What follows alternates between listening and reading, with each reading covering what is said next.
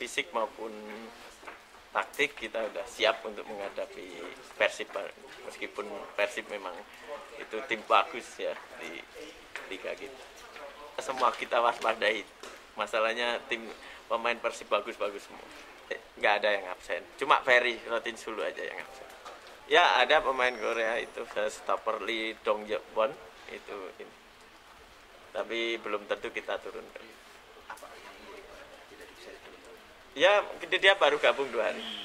Itu memang jadi uh, ini kita waspadai bener. Firman, Dedban, Suparti apalagi Van Dijk ya. Hmm. itu uh, tiap uh, Persib main pasti cetak gol.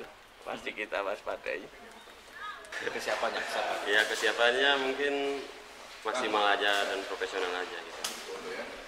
Nggak ada yang apa spesial harus gimana. Yang penting sehat dulu di tantannya mungkin lihat besok aja main kalau yang di kanan tim Persib sekarang agak bagus juga gitu kaki ke kakinya lumayan. Ya dibanding yang tahun lalu bagus. Masalah itu kalau masalah Persib bikin gol nggak terlalu tapi yang penting Sriwijaya menang aja gitu. Itu aja. Mantan tim saya selama tiga tahun sana aku senang sekali. Tapi sekarang aku pakai kaos tim Sriwijaya. Aku sama teman-teman sini kita dalam satu minggu itu kita persiapan untuk bisa men menanam Persib besok. Kita itu kandang kita sendiri kita harus perlu tiga poin besok. Bukan masalah lawan Persib aja atau siapa pun lawan datang sini pasti rencana kita ambil tiga poin selalu. Berarti Ridwan, Firmautina, ya memang tahun lalu mereka main sini kita bisa senang sih kita juara di ya tahun lalu tapi tahun ini mereka ambil rencana sendiri mau pindah ke Persib. Uh, semoga mereka senang sana juga.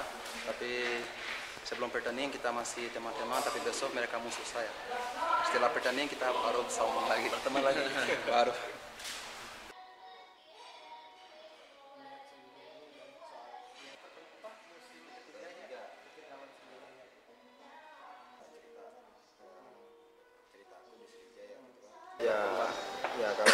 kita sih nggak nggak mau meng, mengungkit yang hmm. waktu di Celebes kan hmm. nah, ini dia main di kandang dengan dukungan supporter terus uh, Sriwijaya juga tim besar gitu hmm.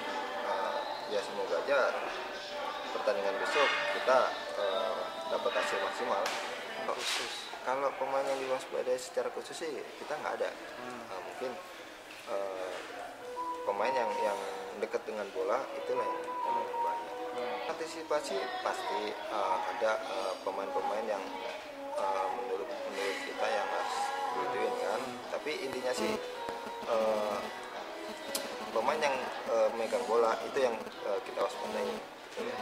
jadi kalau pemain cepat sih nggak kalau nggak dapat bola ya, pemain itu nggak nggak berbahaya gitu.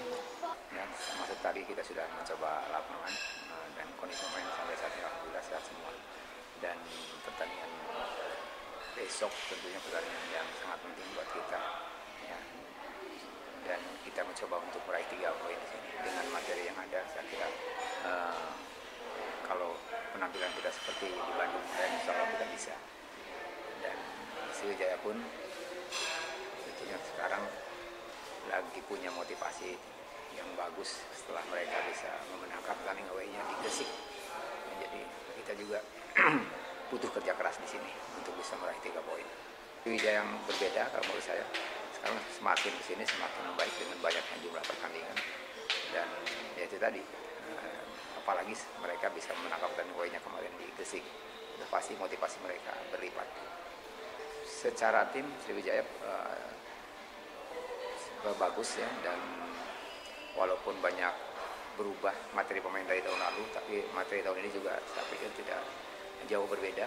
Di situ masih ada Hilton masih ada Koda yang uh, naluri gol yang cukup bagus. Begitu juga Tantan. Main asal Lembang ini luar biasa main di sini. Dan uh, Ponario masih bisa menjadi seorang pengatur serangan dari lini tengah. Jadi saya pikir saat tim mereka bagus. Dan orang-orang yang tadi saya pikir orang-orang yang harus pemain-pemain yang harus diwaspadai. Ya.